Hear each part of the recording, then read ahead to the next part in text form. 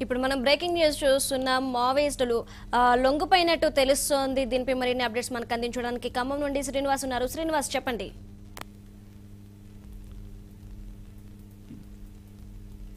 శ్రీనివాస్.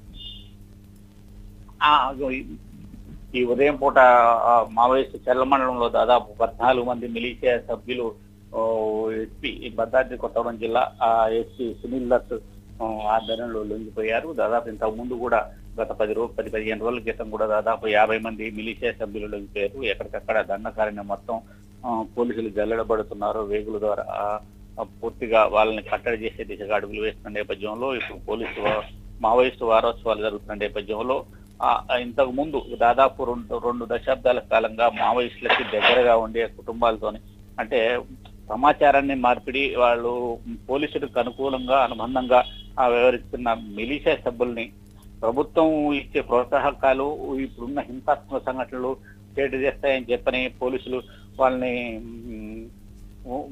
జనజీవన సేవంతలో కలిసేందుకు శాంతియుత వాతావరణంలో జీవనం కలిగించేందుకు పోలీసులు చేసిన కృషి ఫలించిన కోసం దాదాపు పద్నాలుగు నుంచి పదిహేను మంది పోలీసులు ఎదురు లొంగిపోయారు ఇంతకు ఉచితమే భద్రాద్రి కొత్తగూడెం జిల్లా ఎస్పీ సునీల్ దత్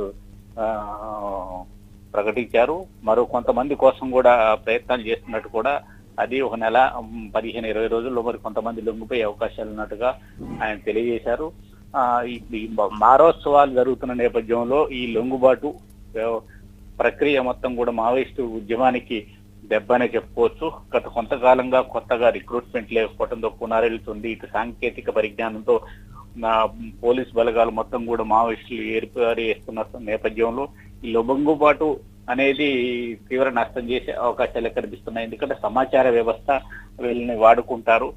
అలాంటి ఈ మిలిషియా సభ్యులు లొంగిపోవడంతో కొంత దండకారణ్యంలో ఇటు తెలంగాణ సరిహద్దు ప్రాంతంలో మావోయిస్టు ఉద్యమం బలహీనపడుతుంది అని చెప్పవచ్చు. Yeah thank you Srinivas.